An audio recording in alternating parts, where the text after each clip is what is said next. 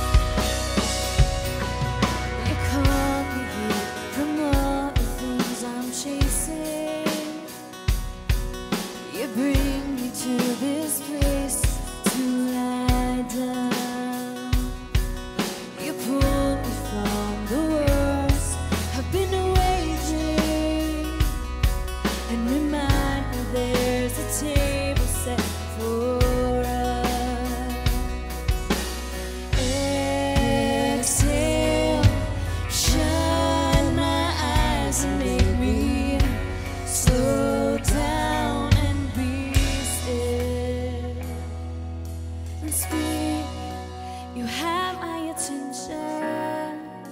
You have my attention. You have my attention, Lord. So speak. You have my attention. You have my attention. You have my attention, Lord.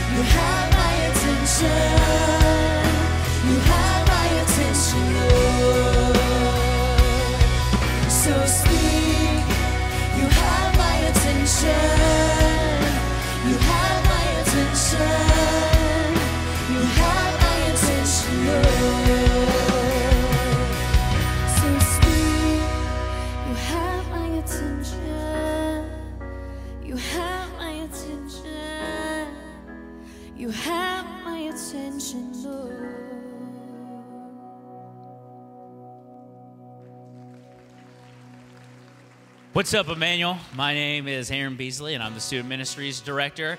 And by the way, uh, Danny's going to come up here. He's going to bring a new series starting this week called Celebrate.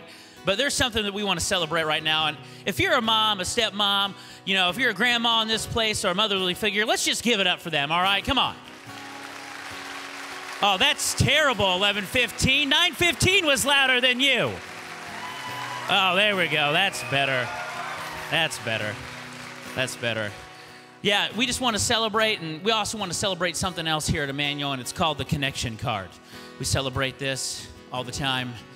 The connection card. If you're a first time guest with us, we're so glad that you're here. We ask that you fill this connection card out, drop it off in the offering bucket as it is passed, so we can get you more information about our church. And if you're a second time guest, we're so glad that you came back. We ask that you fill this out again, drop it off in the offering bucket, and we'll get you a free Chick fil A milkshake coupon. That's right, a free Chick fil A milkshake coupon. Well, speaking of celebrating, doesn't our worship team just do an absolutely awesome job every week? They're awesome, they're great.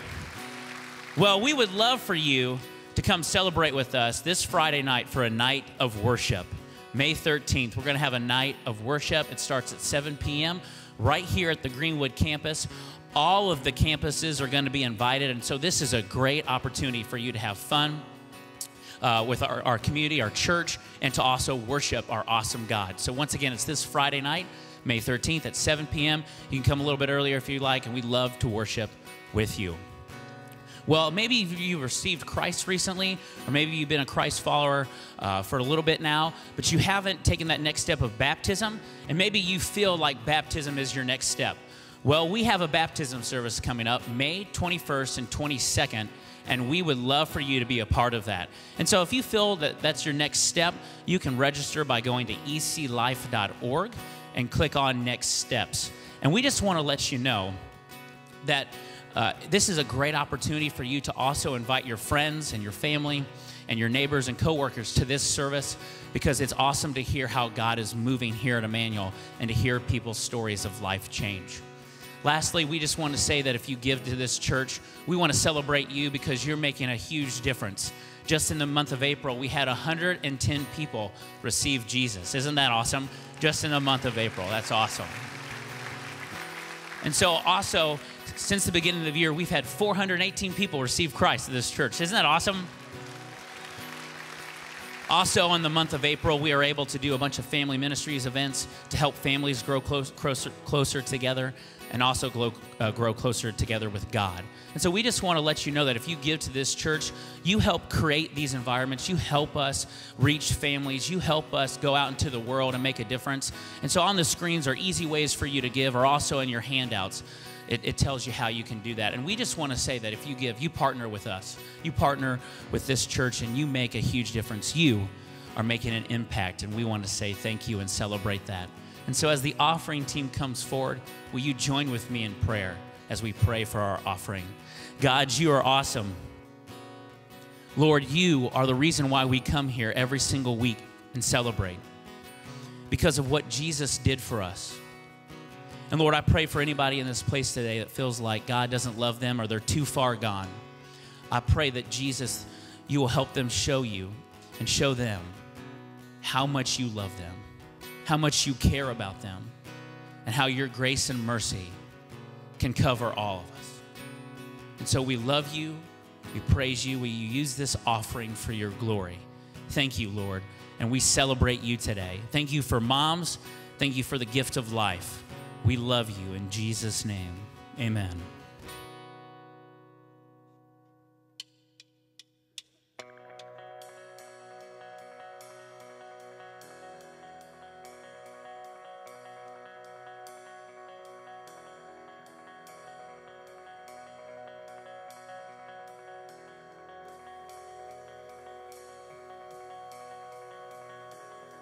Alone in my sorrow and dead in my sin.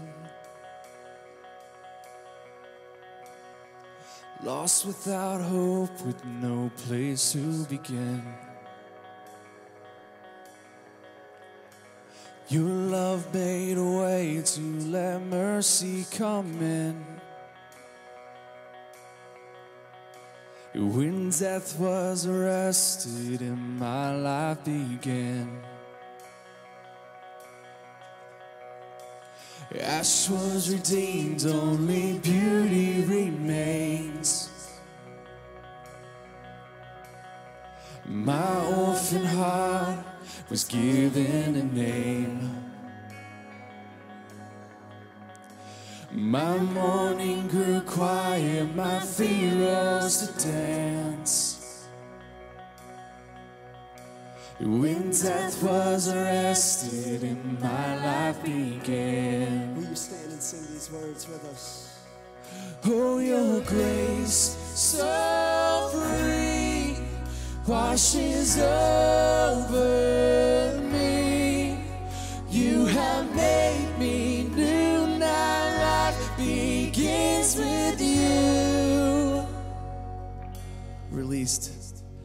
Released from my chains, I'm a prisoner no more. My shame was a ransom he faithfully bore. He canceled my debt and he called me his friend.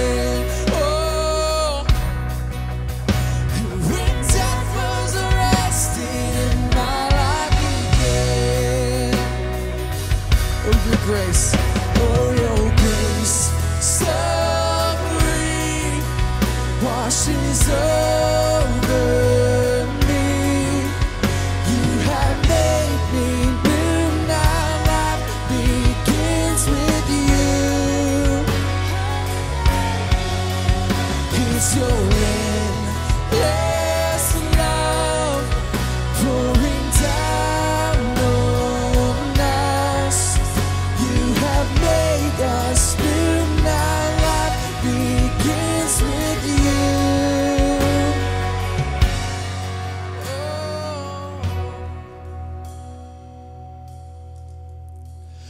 Our Savior displayed on a criminal's cross. Darkness rejoiced as though heaven had lost. But then Jesus arose with our freedom in hand. And that's when death was arrested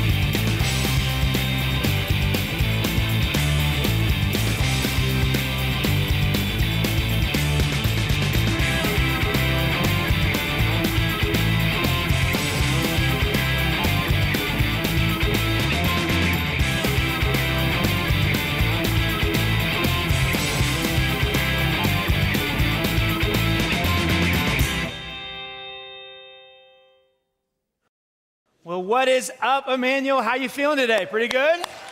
You ought to be. That was exciting. We are starting a brand new series today called Celebrate. And I want to begin with a really quick, quick, simple question. It's this real question right here. Very, very simple. When was the last time that you celebrated? And some of you are like, we, we just did just now. We celebrated moms. And, and uh, maybe it was. But when was the last time you had a celebration other than what we just did right there? Was it last month? Was it last week? Was it last night? Uh, the other day, my son came home, middle, middle child, is 12 years old, and he said, Dad, you know, um, I, I was out of town, so I missed his race, and he runs the mile. And he said, Dad, I beat my record by 20 seconds. You know, I ran a 6:30 mile. I thought, man, that's so awesome. And he said this, can we go celebrate? And usually what that means is we go out and get an ice cream cone or whatever. He loves to celebrate. Anybody else like to celebrate? Yeah, I like to celebrate. Celebration is fun. And so we didn't go out that night, but uh, my other son got invited to go watch the, the Avengers movie, not the Avengers, but Captain America uh, Civil War. Yeah, yeah. So my wife said, Well, why don't you take Bo out to watch uh, the movie as a celebration for his, uh, for his mile? You know, he would love that. He loves that, those types of movies. So, so we did. We went, we went out on Friday night to watch the movie. And uh, as you know, I like to do, I always, I always like to spoil movies. How many of you haven't seen it yet? You haven't seen it yet. Would you like to know what happens? Well, what happens is, is I won't do that. I won't do that. I did that one time. Man, I caught some wrath from everybody. So I don't do that anymore. I don't even mess with that. Uh, but anyway, if you like explosions and you bullets and all kinds of cool effects, this movie is for you. There's like three bad words in it. So if you don't like bad words, you know, just you close your ears. But anyway, um, so it's awesome. We're sitting there with my son. We're just having, you know, daddy son time, watching this, kind of celebrating his, his time. And, and man, it was a great movie. And, and I didn't know this, but I guess there's like a subculture of, of superhero fans. I didn't know that. And, you know, and so inside the movie, like, you know, they, it was really, there were like, there was feedback. For, you know, I hadn't heard this in a while. Like people were like saying things back to the screen, and it was like, oh, this is interesting. And then after the movie was over, you know, the, the place kind of erupted in this, this celebration. Maybe you were there Friday night. I don't know. It's like, yeah, woo! And I'm looking around like, what, how, what's going on? And, and maybe I just haven't been to the movies in a while, but, uh, but again, then again, maybe it's just, it was that good of a movie. But there was this spontaneous celebration because the movie was so awesome. So now everybody's going to go see it, right? This afternoon? See that? I'll see how that works? No, not, maybe not. Anyway, celebration. Celebration is this thing that follows uh, a positive event, isn't it? That's how it works. Celebration is this, this thing that, that comes after something cool happens, something excellent happens, like, you know, someone gets engaged or someone gets married or someone has a baby or someone, you know, has a birthday or something really cool happens, like someone gets a raise or they get a job or they graduate, you know, middle school or high school or college or something like that. And then in response to that, we have some sort of celebration. Often it involves, you know, uh, some sort of gathering together, family or friends, and there's, you know, food and there's drink and there's other these other things that maybe there's some singing. Maybe somebody says a few words at a celebration of some sort. There's all kinds of things that happen at celebrations. And oftentimes there's there's also this this feeling of exuberance or this fullness of joy, right? And the people get excited. Did, did, did, you see the way the last NCAA championship tournament game ended? It was un- anybody see that? I didn't get a chance to actually watch the game, but I watched the last you know couple of minutes. North Carolina tied the game with an acrobatic three-point shot with a few seconds left, and it was going to go into overtime. And Michael Jordan was in the crowd going, right? And of course, I love that part because MJ's my man, right? So, but then Villanova comes down and they hit a last-second buzzer beater shot to win the game. Now that rarely happens in an ordinary game, let alone the NCAA national championship game. And after the guy on Villanova hit the shot. There was this spontaneous, you know, explosion of emotion, and they did this, this dog pile tackle. Do you remember this? Did you see this? Anybody watch this?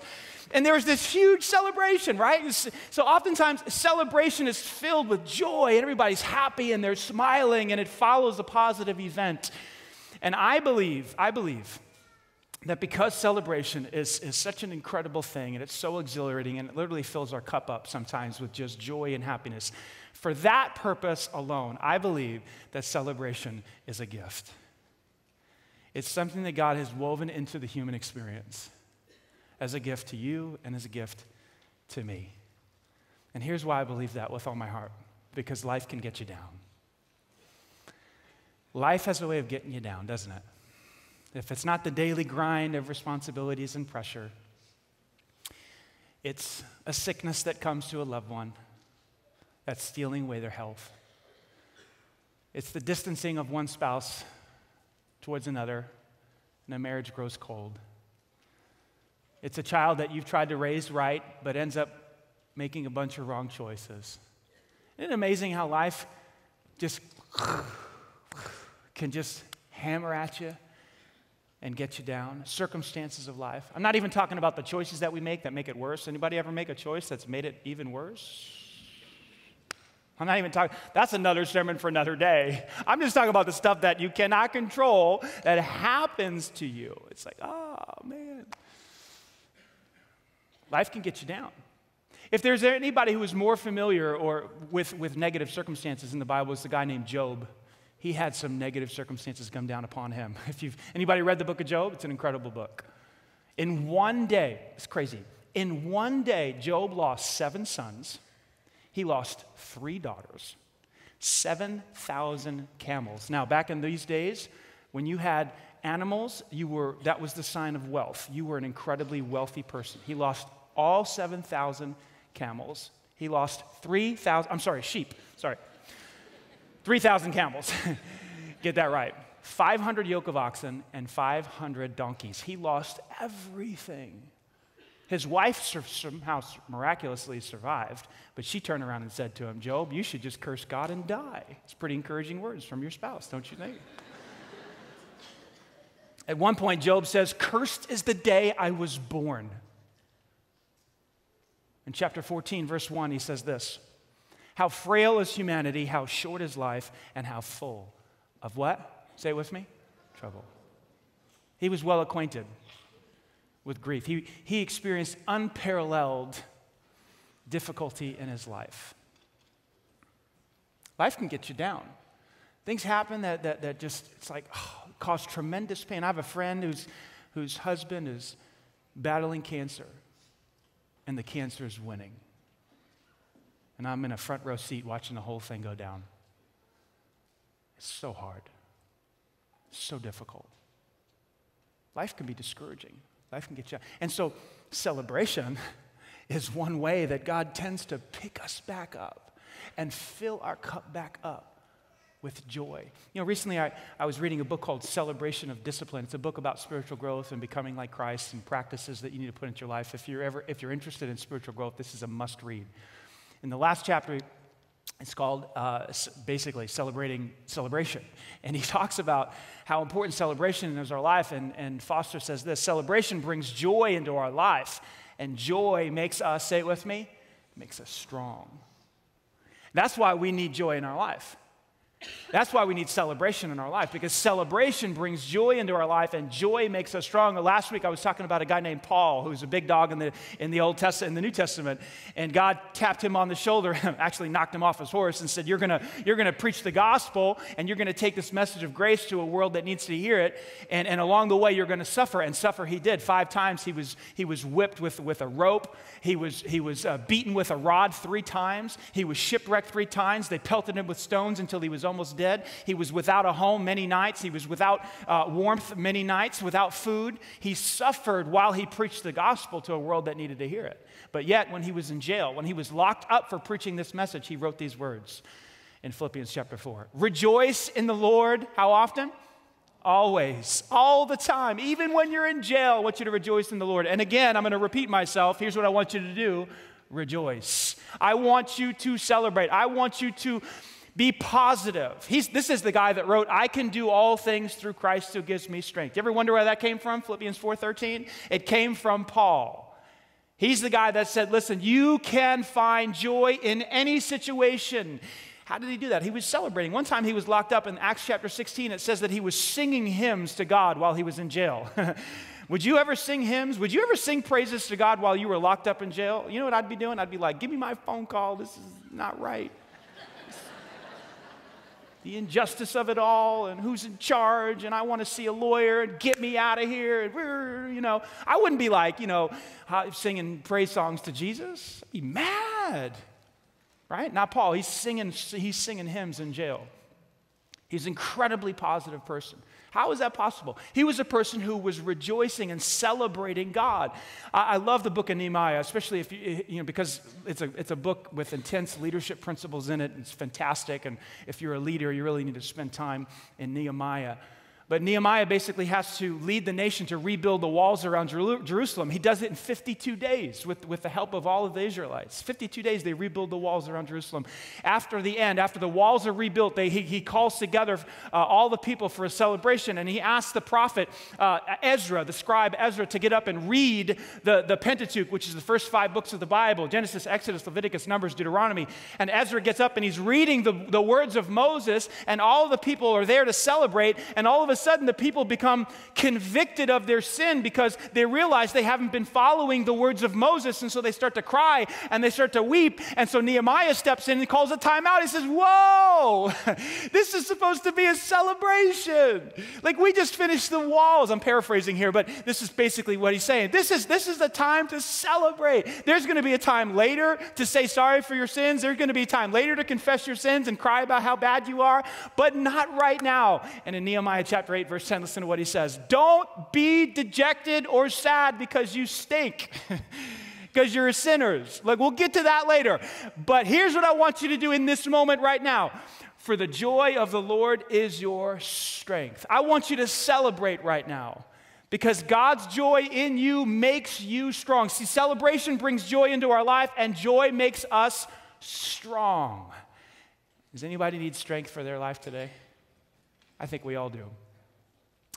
Because life can get you down. And that's where celebration is a gift. It's a gift to me, it's a gift to you. And so we celebrated our house. We don't do it all the time, but we try to. Even when my son breaks his record for 20, sec- in 20 seconds, like, oh, it's time to celebrate. We celebrate this, celebrate that, to fill our lives with joy. This was such a serious issue for God and, and, and, and, and his people in the Old Testament that he actually scheduled celebrations into their year. He had these festivals, these parties, these seven day parties that he, he basically said, You're going to do it here, here, here, and here. I'll just, I'll just list a few of them. There was the Feast of Tabernacles, that was a big seven day festival. Then there was the Feast of First Fruits. Then there was the Feast of Weeks. Then there was the Feast of Trumpets. And then there was the big dog party of all of them. Okay, this is the big one. The big seven day festival was called the Passover. And they did all of these parties throughout the year so that they could celebrate. Now, what is a celebration? It's, it's something that results from something positive that took place, right? Something incredible happened, and so there's this reaction, there's this response. And so Passover is no different. What's the Passover? Well, the Passover was this incredible story. It's in the book of Exodus where the Egyptians were holding the Israelites in bondage to, uh, as slaves for 400 years. And finally, God said, Enough is enough because the people were praying and saying, We want to be free, we want to be free. So God finally answers and he brings down 10 plagues upon Pharaoh and all of Egypt to try to set them free. They go through nine, and Pharaoh says no, and they finally get to the 10th one. The 10th one is the worst one of all. God decides to send his death angel. Did you know God had a death angel? It's pretty scary stuff. I hope he never sends the death angel down to our house. You know, but he sends this death angel down to Pharaoh and all of Egypt. And the death angel's job is to kill every firstborn male in every single home. Pretty scary stuff. And he tells, uh, he tells Moses and all the Israelites, in order for, for, for, you to avoid the death of your firstborn, here's what you have to do. You have to take a one year old male lamb and you have to slaughter it and you have to eat it a certain way. And so there was instructions for that and all that. But here's what I want you to do with some of the blood. I want you to take some of the blood of that first spotless lamb. Does that ring a bell? You have to take a one year old spotless lamb without any imperfections, take some of its blood, and I want you to wipe it over the doorpost of your house, the doorway, right above top. And when my death angel comes down to that area, when my death angel sees the blood of the lamb, does that ring a bell? When he sees the blood of the lamb, what he's going to do is he's going to pass over your house. And he will not kill the firstborn son in your home. Did you know that that's what Passover meant? And so the Israelites did. Every home in Israel, they killed a one year old spotless lamb. They took some of the blood, they put it over their doorposts, and the death angel passed over every home of Israel. But not so for the Egyptians. And that night, every firstborn son in Egypt died. And Pharaoh finally said, Get out of here. I'm done. You can go. And so Passover not only helped the Israelites to remember the event that the death angel passed over their house, it also represented freedom.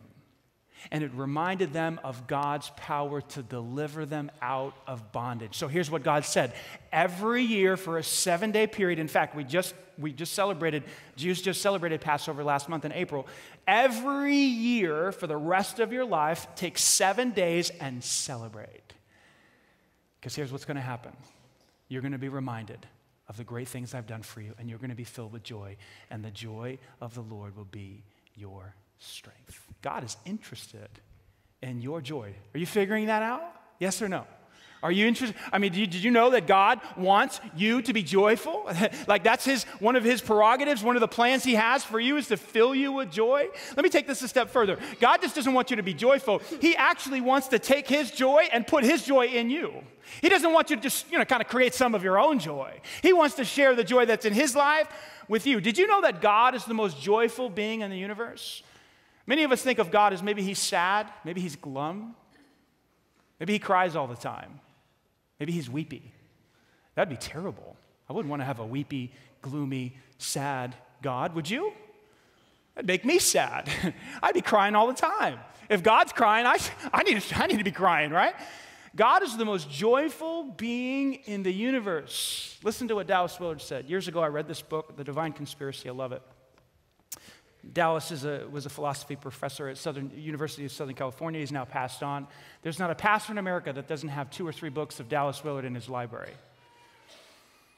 That's how influential he was. Listen to what he wrote about God. Undoubtedly, he is the most joyous being in the universe. The abundance of his love and generosity is inseparable from his infinite joy. All of the good and beautiful things from which we occasionally drink, tiny little droplets of soul exhilarating joy, God continuously experiences in all their breadth and depth and richness. He continues God is simply one great, inexhaustible, and eternal experience of all that is good and true and beautiful and right. Have you ever had this experience before where you're looking up at the stars and, and it's, it, there's no, it's a very clear night and, and, and there's no lights from the streets or anything like that, and you're looking up and you're going, oh, wow, that's unbelievable. You ever had that experience? And you just kind of taken? Or maybe it's a sunrise. You wake up and, and, and you look out the window, you're, whoa, whoa, whoa, whoa, Look at this. Did you see the sunrise Saturday morning? Anybody up that early? It was unbelievable. I was texting my friends. Look at the sun, look at the sun. Anybody ever been out west? I haven't. I haven't seen the Grand Canyon, but I know some of you have. You've driven out there in a Winnebago. I know some of you like to do that stuff. You've seen the Grand Canyon and you went, whoa, whoa, whoa, And it's like your breath gets taken away. You ever had that experience? God has that experience 24 7 because he gets to see it all. There's never a moment in God's life where he is not beholding what is the most beautiful and excellent things on this earth. Picture that. We get to drink little tiny droplets of of that stuff, and God gets to drink from it every second of every day. He's the most joyous being in the universe. And with that being said, let me piggyback that with something Jesus said, John 15. These things I have spoken to you that my joy may be in you, so that your joy may be half empty, half a cup. No, brimming over, right? That the goodness of God and the joy of God is overflowing. It's bubbling up and it's falling over the cup. And guess what? It's getting on everybody else.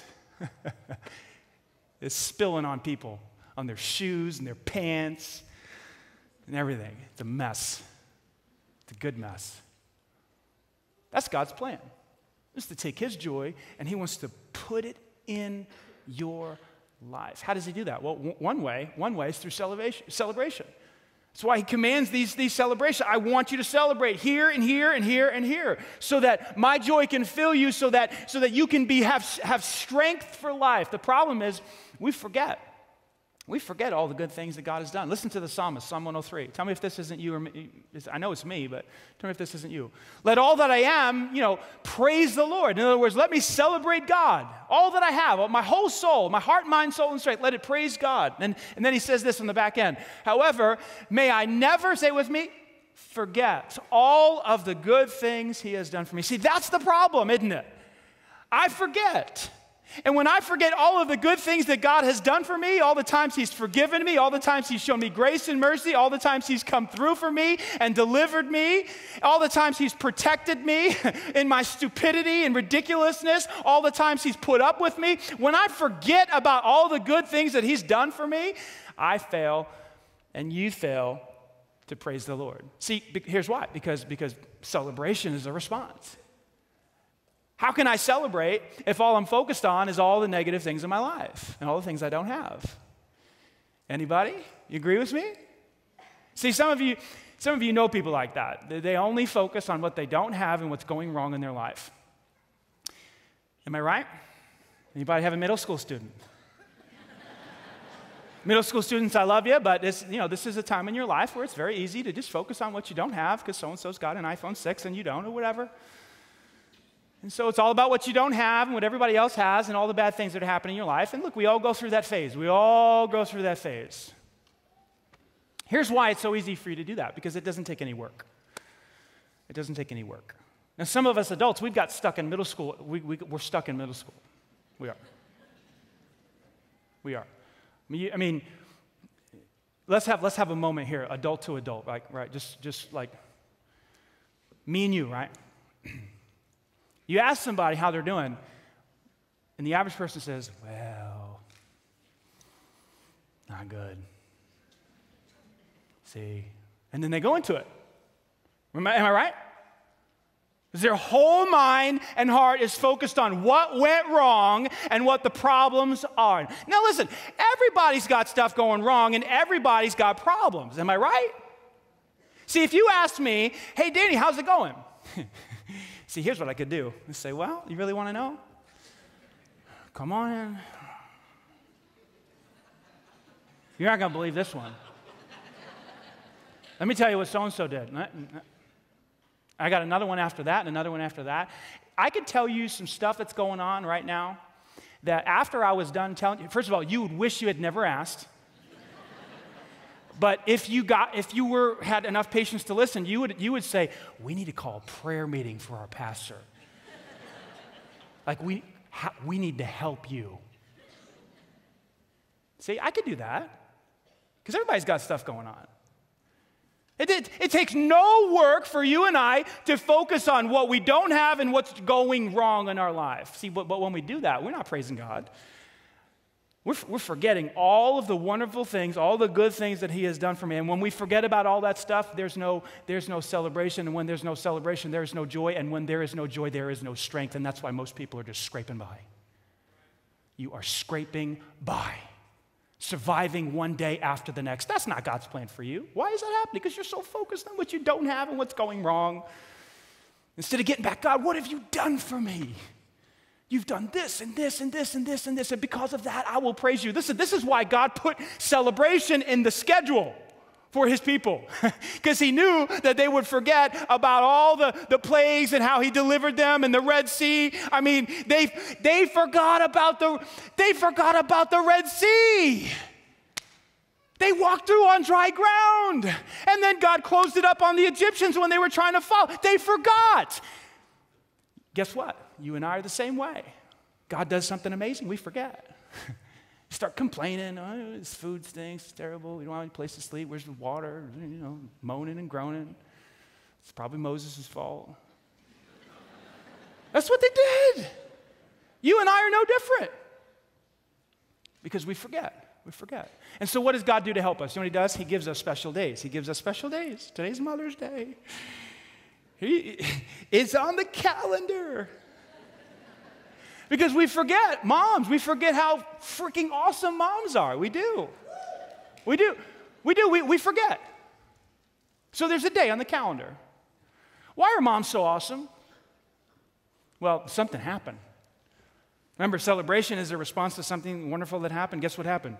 You. You happened. Like you, here, you wouldn't be here without your mama. No existence for you. You don't exist. Scratch you out. You're not here without your mom. Yeah, uh, I've seen how that all works. I was up, I was there three times. I was there. I saw it. I saw my wife push out those babies, and each time I went, Whoa! that shouldn't happen. That doesn't work. I don't know. How's that? How is that happening? Listen, if you pushed out one of those things, listen, much respect. much, much respect. Okay? Something happened. Now, now I know some of you did C-sections and all that stuff. Hey, hey, hey, much respect. Some of you did the whole adoption thing. Whoa, much respect, okay? Listen, mom, something happened. You, we happened. And because we happened, we celebrate you today. And it wasn't just that you, you gave birth to us, but you know, then after that, you had to do everything else clean us up, fix us, take care of us, guide us, teach us, you know, model for us, guide, you know, do all these different things, protect us, and on and on. Here, here, here's what I know about moms moms, they're different than dads. They're different, they, they just are. Very, very different. Let me give you an example. Moms do whatever it takes. I just, I just, I just know this. There's something in you, moms, that's just like whatever needs to be done, you are doing it, right? So, so, and dads, we're just not that way, you know. like when I was when I was 12, I was running a first base. I was a baseball player, and, and, and I'm running down, and I'm trying to beat a single or whatever, and I step on first base, and I twist my ankle, and I, I crack my foot. I was about 12 years old.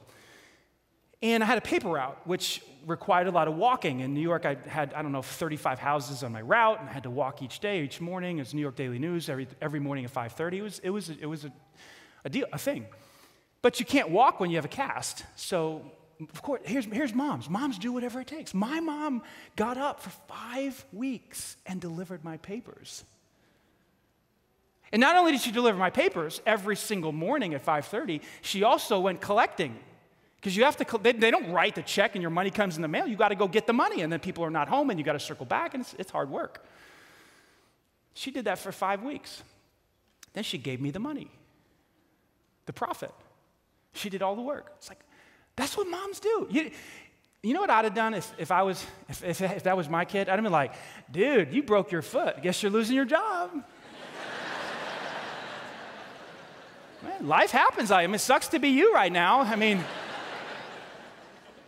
A job. I'm not delivering your papers. Are you, are you, are you smoking something? I am not delivering your papers. Like, but mom, see, that's where moms and dads, they're different. Moms, listen, you moms deserve to be celebrated because you will do any, you'll do whatever it takes. That's just true. Am I right, moms? Am I right? Man, you are awesome. Here's what else I know about you moms. You need to be celebrated because you need some strength because you're worn out. You're worn out. And some of that is self inflicted because you, again, you do whatever it takes, okay? So, but that's okay. That's okay. But you are tired and you are worn out and you, you fill in gaps and you're protecting and you go the extra mile and you're tired and you're stressed. And then you have this whole other thing going on, which I don't think I'll ever understand, which is after you do everything that it takes to, for your kids and try to keep the family together and pay the finances or whatever it is that you, you know, you're trying to carry in all these different places, on top of all of that, you're carrying around all this ridiculous guilt. It's just like everywhere. It's all over you. It's like, oh, you know, I'm just not doing enough. I should have been at the game too, and I also should have went food shopping, and I also had the, fo- the, the, laundry folded. And uh, look, it's all just, it's not happening. I'm terrible. I suck, you know?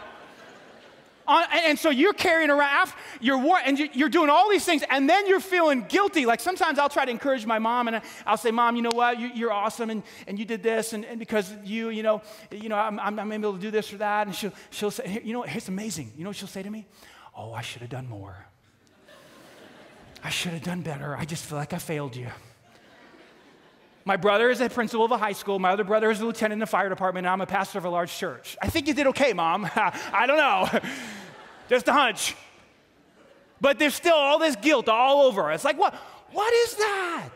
Here, here's what I know you need to be celebrated because you carry all that stupid guilt. You need to get rid of it. You're doing what you can do, you're doing as much as you can do. You're putting your whole heart into it. And you need some strength. And where's that strength come from? You know where it comes from? It comes from joy. Where's that joy come from? It comes from celebrating. We celebrate you today because you make a difference. My favorite quote about moms is from Abraham Lincoln. He said this All that I, all that I am or ever hope to be, I owe to my angel mother. All that I am or ever hope to be, I owe to my mother. When, when Abraham Lincoln's mom was taking extra time to discipline him, or to teach him to keep his room clean, or the value of telling the truth, or being honest. Do you think that she knew that all of her effort would result in one day having her little boy change a nation? There's no way. There's no way that she knew that. But it did, it happened. Abraham Lincoln became the man that he was, according to his own lips, his own words, because of his mother. Moms, you got to hear this. What you do matters tremendously. I texted my mom this morning before the first service, and uh, I just said to her, Happy Mother's Day. This is 9 o'clock this morning. In a few moments, I'll be speaking to several thousand people. It's pretty amazing, Mom. And it would have never happened without you. The seeds that you planted in my heart are blooming and growing. I love you so much. She texted back and said, Thank you so much, Danny. I still think it's amazing when I think of all that God is doing through you for His glory. I love you so much. Each night before we would go to sleep as young boys, my, I had two older brothers. We were very close in age. She would come into our bedroom and she would kneel by the side of our bed and she would uh, say a few prayers. She would talk to Jesus as if he was right there in the room, and, and my little, you know, eight, eight year old, nine year old brain would kind of just like, okay, so he's here, and apparently he's listening. That's pretty cool. Uh, you know, and I would begin to understand, like, can you say anything? Can you ask for anything? Like, what is he, you know, how does this work? And she would just, each night, she would come in and pray. And those little seeds of faith that she planted in my heart didn't really blossom until I was about 17 and a half. But I can say, w- without a doubt, without a doubt, all that I am or ever hope to be, I owe to my mother. Specifically because of the line of work that I'm in what I do for, for a living. It would have never happened unless she put the idea of God in my heart as a very young boy. Moms, I wanted to celebrate you today because you're awesome. You do unbelievable things, and you carry enormous amounts of guilt, which you, which you shouldn't. So I was thinking, you know, how can I celebrate you? How could we celebrate you? And I thought the best thing in the world would be chocolate. I mean, I really did think that. I even called my guy. I was like, how much chocolate can we get for like 5,000 people? Uh, you know, and but then I thought, you know, there'd be some moms would be like, Pastor, I'm on a diet. You're killing me. You know, it's ridiculous. You know, I'm trying to cut back. And so the whole chocolate thing didn't work out. Then the rose thing, I was going to give you rose, but I thought roses die. That's stupid. Well, I don't. I just. I don't know. So, if you wanted a rose, I'm sorry. I just. It would die in a couple days. What's the point? So, so I thought of something else. So I thought of something else. I've never done this before, but I thought of, uh, of just blessing you, just saying a blessing over your life. You say, what does that mean? Well, a blessing is, it's not, people, people say when they sneeze, God bless you. We have no idea what we're talking about. I mean, I mean, I know there's some people that sneeze so hard that they probably need God to bless them. You know what I'm talking about? It's like, oh, Jesus, help that girl, help that guy. I think, but that's not, that's a, un, a flippant use of the word. We don't, that's not what it means to, you know, a blessing is in, here's what it is, ready? It's, it's projecting goodness into someone's life. It's, and where does that goodness come from? There's only one source it's from God. So, really, it's invoking God's favor upon someone's life. That's what blessing someone is. And you can do that with words, and you can do that with actions, and sometimes you can do that with gifts or whatever. But today I want to do it with words. And there's a, there's a great passage in the book of Numbers that is actually used by many churches each week as the congregation leaves, leaves the auditorium. Uh, but we, we don't have a practice of doing that. But I do want to use it today. And I want to bless you, moms, in a special way. I want you to, and here's why because I want you to be filled with His joy because you need strength. You need strength.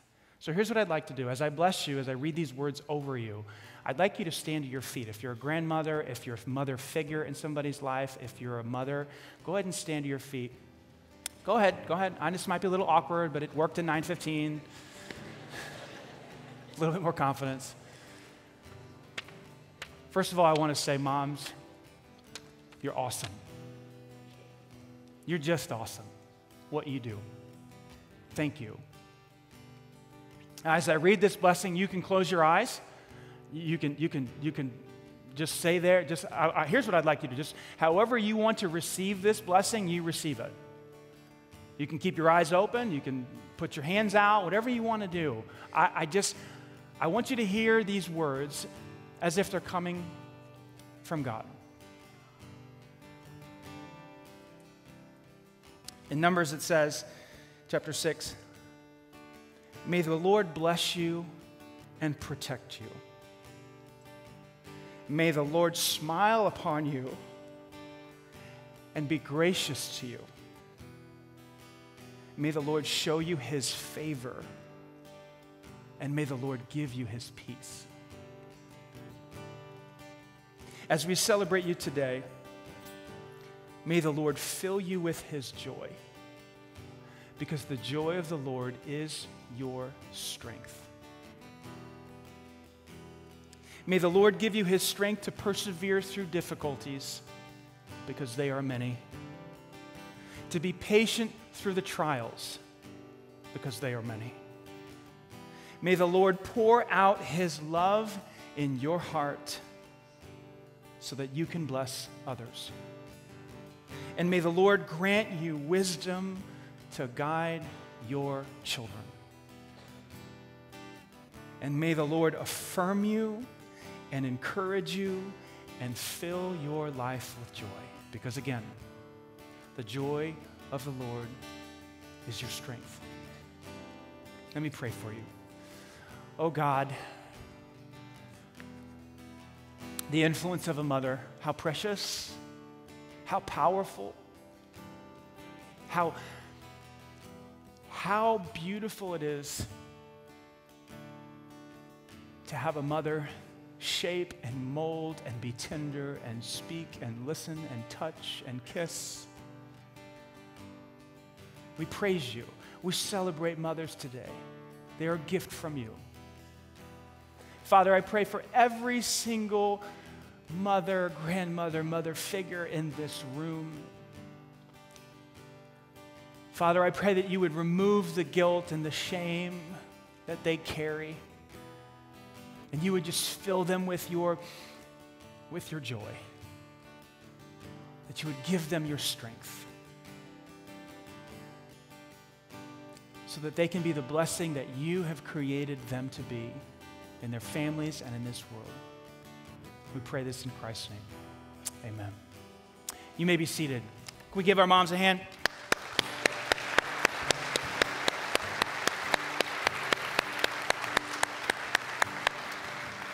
The greatest gift that I have given my mother is not being a pastor, although that, she, that thrills her heart. She just thrills her heart, right? So, but the greatest gift that I've ever given my mother is putting my faith in Jesus Christ. Here's why. Here's why. Watch it. Watch it. Ready? It's the decision that will affect all eternity. See, and me and my mom, we're going to be together forever. And if your mom is a person of faith, that's what she wants more for you than anything else in this world. Of course, she wants you to have a good marriage. Of course, she wants you to have a good job and insurance and blah, blah, blah, blah. But if she is a woman of faith, what she wants most for you, listen to me, what she wants most for you is for you to put your faith in Jesus Christ, to have your sins washed away so that you can have eternal life. That's what she wants most, I promise you. I promise you. And some of you have been putting that off and you've been living this way and that way. You said no to God. Listen, maybe today is the day you come back and say, man, I know I need to do that. I know I need to put my faith in Jesus. I know I, I know I, if I died today, I don't know where I'd go. I don't, I don't, I know I want to go to heaven, but I've never made that choice. I've never made that decision. Hey, right now, right now, God would say to you, hey, step in, step in right now.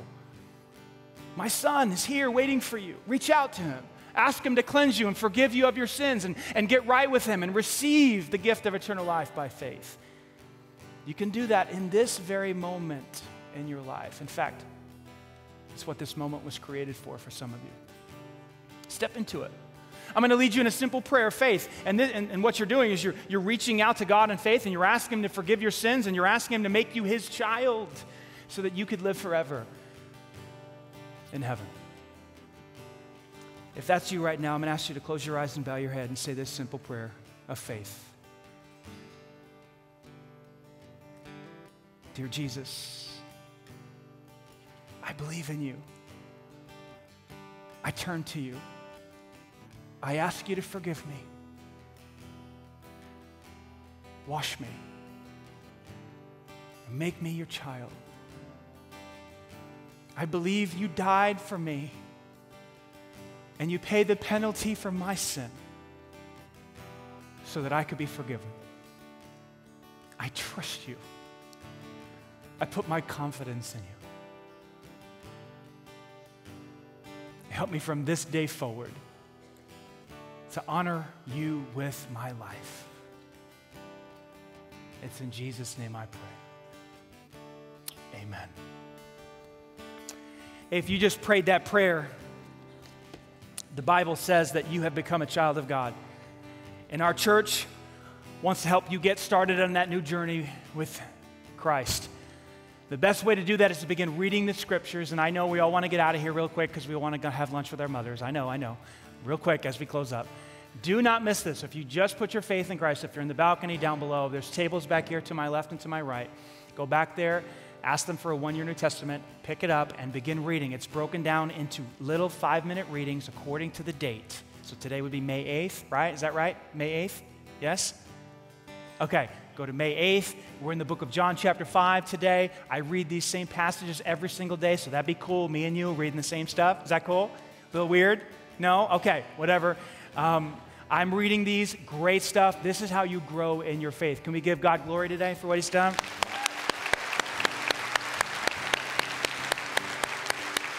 Moms, moms, we love you. May the joy of the Lord fill your heart today, and may you find strength as you get celebrated on this Mother's Day. Let's pray when we get out of here.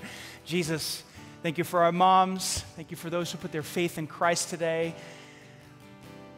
Lord, we just love you. Thank you for the opportunity to share, look into your word, to be encouraged, to celebrate, to find joy, and to find strength in you. I hope you were pleased today. I hope you were honored. It's in Christ's name we pray. Amen. Next week, we're going to be part two of Celebrate. You're not going to want to miss it. Bring a friend.